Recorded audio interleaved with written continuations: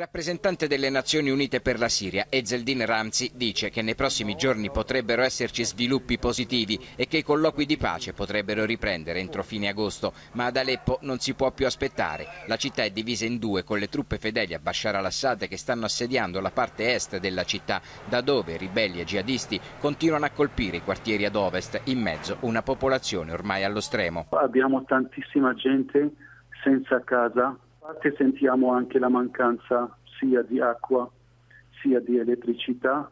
Ieri e l'altro ieri c'erano anche persone intossicate perché c'erano anche dei missili chimici che sono stati lanciati eh, sulla nostra zona.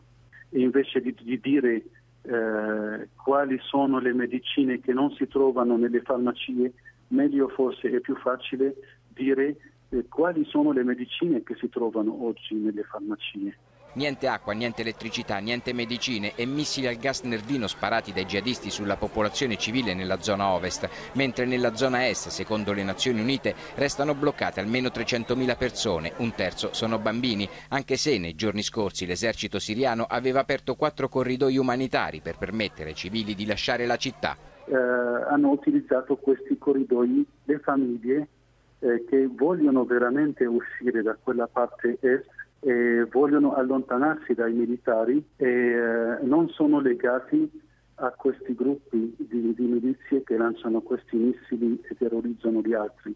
Bisogna arrivare a un dialogo, bisogna arrivare a un accordo di pace, ma sembra che questa ricerca è, è, è fallita.